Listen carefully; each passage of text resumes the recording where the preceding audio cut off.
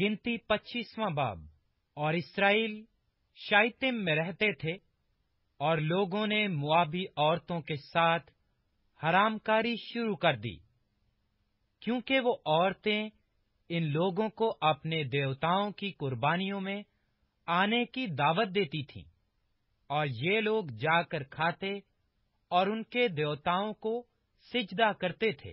یوں اسرائیلی بال فوگور کو پوجنے لگے۔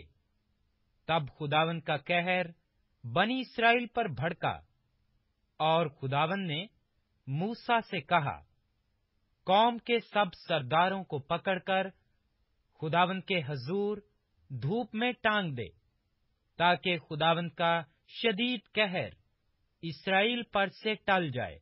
سو موسا نے بنی اسرائیل کے حاکموں سے کہا کہ تمہارے جو جو آدمی بال فغور کی پوجا کرنے لگے ہیں، ان کو قتل کر ڈالو۔ اور جب بنی اسرائیل کی جماعت خیمہ اجتماع کے دروازہ پر رو رہی تھی، تو ایک اسرائیلی موسا اور تمام لوگوں کی آنکھوں کے سامنے ایک مدیانی عورت کو اپنے ساتھ اپنے بھائیوں کے پاس لے آیا۔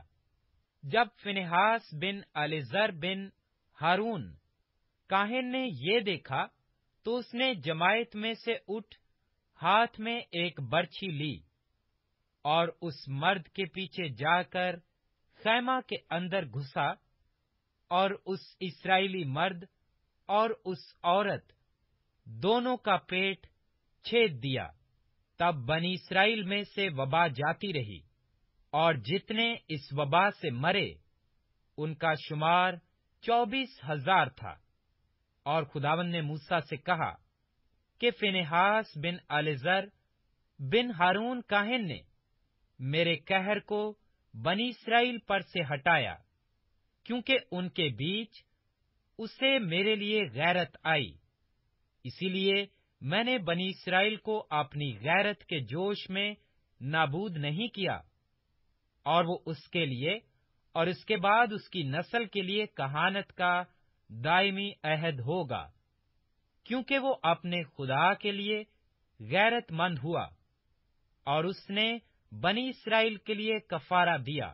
اس اسرائیلی مرد کا نام، جو اس مدیانی عورت کے ساتھ مارا گیا، زمری تھا، جو سلو کا بیٹا اور شمون کے قبیلہ کے ایک ابائی خاندان کا سردار تھا اور جو مدیانی عورت ماری گئی، اس کا نام کسبی تھا اور سور کی بیٹی تھی، جو مدیان میں ایک ابائی خاندان کے لوگوں کا سردار تھا۔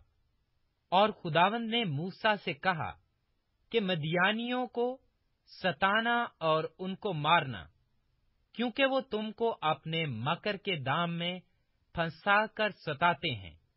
جیسا فغور کے معاملہ میں ہوا اور کسبی کے معاملہ میں بھی ہوا، جو مدیان کے سردار کی بیٹی اور مدیانیوں کی بہن تھی اور فغور ہی کے معاملہ میں وبا کے دن ماری گئی۔